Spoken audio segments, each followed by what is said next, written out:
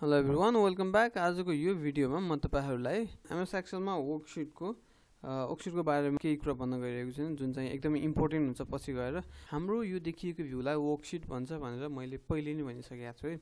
अब त्यस्तै तपाईँहरूले वर्कसिट बनाउनुको लागि अहिले हामी वर्कसिटमा छौँ। अर्को बनाउनु पनि प्लस गर्ने भनिसकेको छु। दिस इज वर्कसिट टू होइन? दिस इज वर्कसिट टू अब यस्तो अरू केही लेखेको हुनसक्छ हो। अब यसपछि तपाईँलाई एउटा वर्कसिट रेडी भयो तपाईँले कुनै एउटा फर्मेट बनाएर कुनै एउटा स्याम्पलमा काम गर्नुभयो। अब यस्तै खाले पर्टिकुलर आइडेन्टिकल अर्को तपाईँलाई सिट चाहियो भने सिट कपी गर्नुको लागि जस्तो कि यो सिट टू भयो यो ठुलो धेरै ठुलो फाइल छ यसमा मानौँ हो? यसमा एकदम एक हजारवटा फाइल छ। अब यस्तै खालि माथि मात्र हेडिङ मात्रै चेन्ज गरेर हुन्छ नि त्यसलाई कपी गर्नुभन्दा यहाँ अर्को सबै कपी गर्नुभन्दा यहाँ के अप्सन हुन्छ? मुभ अर कपी भन्ने अप्सन हुन्छ होइन? यसले गर्दा move to end create a copy okay गर्नुभयो भने तपाईँको के भयो? सिट टू सिट वान होइन सरी सिट वान त यो पहिला डिफल्ट आएको सिट भयो होइन? सिट टू हामीले बनायो। यो सिट थ्री भयो। अब यहाँ गएर मैले के गरिदिएको भयो? दिस इज वर्कसिट थ्री भनेर चेन्ज गरिदिएको भयो। यति भएपछि भइहाल्यो। अब सिटको नाम चेन्ज गर्न यहाँ गएर नेम गर्ने। सिट थ्री अर के हो नाम? त्यो चाहिँ गर्ने होइन? अब यदि तपाईँलाई वर्कसिट कपी गर्न आयो यो वर्कसिट हो यो एउटामा भएको डाटा अर्कोमा कपी गरेर पुरै कपी गरेर लानु मिल्छ यसरी नै नि होइन?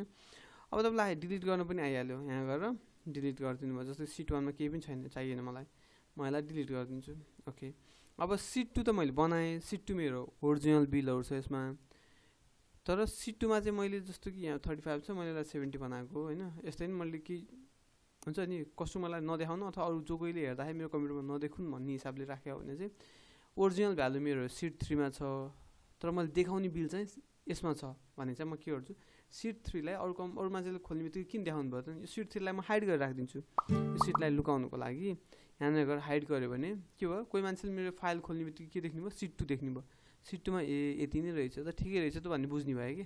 यदि कसैले आफू नभएकोमा एक्सिडेन्टली खोल्यो भने पनि उसलाई हाम्रो ओरिजिनल फाइल हो। यहाँ लुकेछ भने त उसलाई थाहा हुँदैन। तर यदि यहाँनिर गएर हामीले अनहाइड गऱ्यो भने चाहिँ हामीले लुकाएको सिटहरूको लिस्ट आउँछ। त्यहाँ मध्येबाट सिलेक्ट गर्ने ओके गर्ने। त्यसपछि सिट थ्री पनि आयो। यो चाहिँ सिटलाई लुकाउनको लागि हो। अब यस्तै गरी अब यो काम भयो। अरू मैले यो अब यो काम भयो होइन। यो काम भइसकेपछि के हुन्छ भन्दा हामीले बनाएको यो फाइल त भयो। यो त अहिले यहाँ टाइटलमा हो भने त के छ? बुक वान छ भनेको यो सेभ नभएको हुनाले टाइटल बार पनि बुक वान देखेको। अब हामीलाई अहिले सेभ गर्नुपर्छ। सेभ गर्नुको लागि के हुन्छ? फाइलमा गइन्छ। फाइलमा गएर सेभ भन्ने अप्सनमा गइन्छ है हामी। सेभ एजको बारेमा म तपाईँलाई पछि भन्छु होइन। अहिले हामी सेभमा गइन्छ। सेभमा गइसकेपछि के हुन्छ? पहिलोचोटि सेभ गर्ने बेलामा चाहिँ अब तपाईँहरूकोमा यो यस्तो खाले इन्टरफेस नहुनसक्छ नि तपाईँहरूकोमा सिधै एउटा पपअप बक्स यस्तो खाले यसरी कुनै एउटा बक्स आएको हुनसक्छ होइन। यो भनेको के भन्दा दिस पिसी यो चाहिँ नयाँ लेआउट नयाँ इन्टरफेस भएको हुनाले यस्तो खाले देखिएको सो केही टेन्सन लिनु पर्दैन। तपाईँहरूकोमा सेभमा सेभमा क्लिक गर्ने बित्तिकै यदि केही बक्स पपअप भएको छ भने त्यो भनेको यही नै हो होइन? यसको बारेमा म एकैछिनमा आउँछु अब यहाँ रिसेन्टमा छ भने रिसेन्टमा तपाईँलाई कहाँनिर सेभ गर्ने डेस्कटपमा सेभ गर्ने भने डेस्कटपमा क्लिक गर्नु त्यही बक्स आउँछ नट अ प्रब्लम अब दिस पिसीमा गएर अन्त कतै सेभ गर्ने हो भने पनि यही बक्स आउँछ अनि यहाँबाट चाहिँ तपाईँहरूले नेभिगेट गर्ने हो क्या। यो पिसीमा कुन ड्राइभमा कुन फोल्डरमा कहाँ राख्ने? जस्तै मलाई डेस्कटपमा राख्नु छ डेस्कटपमा मेरो अहिलेसम्म दुइटा फाइल बनिसकेको छ यो चाहिँ फाइनल वान भनेर मैले यसरी बनाएँ एउटा यो चाहिँ के हुन्छ जहिले पनि वर्क बुक हुन्छ। एक्सलमा भ बनेको फाइल जहिले पनि वर्क बुक हुन्छ विथ एक्सटेन्सन एक्सटेन्सन भनेको एक्सएल एक्सएस भन्ने हुन्छ है। एक्सएलको फाइलको एक्सटेन्सन यो हुन्छ होइन। यदि तपाईँहरूलाई एक्सटेन्सन भनेको थाहा छैन भने मेरो एक्सटेन्सनको बारेमा एउटा भिडियो छ प्लिज त्यो चाहिँ हेर्नु होला सो द्याट एक्सटेन्सनको बारेमा तपाईँहरूलाई क्लियर हुन्छ होइन। अब यति भइसकेपछि तपाईँहरूलाई कहाँ सेभ मैले डेस्कटपमा सेभ गरेँ? कहाँ सेभ भनेर हेर्नलाई चाहिँ यहाँ हेर्नु माथि जहिले पनि माथिको यो बारमा हेर्नुभयो भने। जस्तो सरी अब डिस पिसीभित्र म अरू कुनै ड्राइभभित्र छु भने डी ड्राइभभित्र आएँ। डी ड्राइभभित्र कहाँ सेभ गर्ने? माई पिसी ब्याकअपभित्र यसरी कहाँ सेभ भयो? यहाँनिर देखिन्छ। यो यो चिज चाहिँ तपाईँलाई याद हुनुपर्छ। यो चाहिँ मैले जहिले पनि भनिरहेको हुन्छु होइन। एकदम कहाँ सेभ भयो थाहा हुँदैन। कि मान्छेले लेख्छ सेभ गर्छ सकियो कि?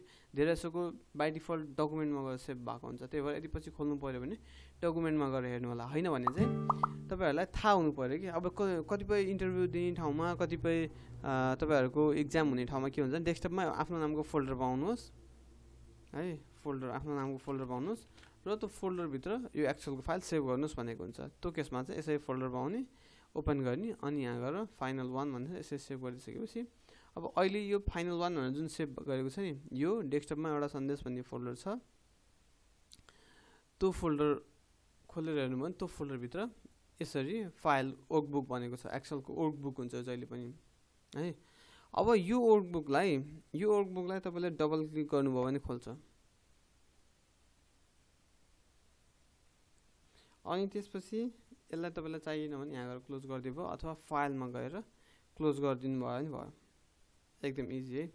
अब यो क्लोज र यो क्लोजको फरक यही हो कि तपाईँले त्यो क्लोज गरिसकेपछि के भन्दा फाइलमा गएर फेरि ओपन गर्नुभयो भने यहाँबाट आफूलाई चाहिएको कुनै अर्को एउटा फाइल फेरि ओपन गर्न मिल्यो हो? तर यो क्लोज गरिदियो भने पुरै एक्सेल प्रोग्राम नै बन्द हुन्छ। सो अब यो चाहिँ आफ्नो रिक्वायरमेन्ट हुन्छ जस्तै मलाई अब यो फाइलको काम सक्यो फेरि मलाई अर्को फाइल खोल्नु छ भने म फाइलमा जान्छु क्लोजमा गर्छु अनि फेरि फाइल गरेर ओपन गरेर ओपन गर्दा कुन फाइल ओपन गर्ने अहिलेको फाइनल अनि ओपन गर्छु। यसरी यहाँबाट इजिली नेभिगेट गर्न सकिन्छ। फाइल क्लोज फाइल न्यू नयाँ फाइल खोल्नको लागि फेरि नयाँ फाइल गर्ने न्यू फाइल यसलाई फेरि सेभ गर्नु पऱ्यो भने सेभमा जाने चाहिँदैन भने क्लोज गर्ने। यसरी काम गर्न सकिन्छ।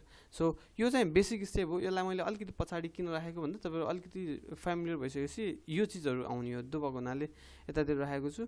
अनि सुरुमै नआत्तिनु होला होइन? सो स्टे अलङ जति प्र्याक्टिस गर्दै जानुभयो त्यति नै पर्फेक्ट हुनुहुन्छ। So don't forget to like this video and share it with your friends and don't forget to subscribe thank you bye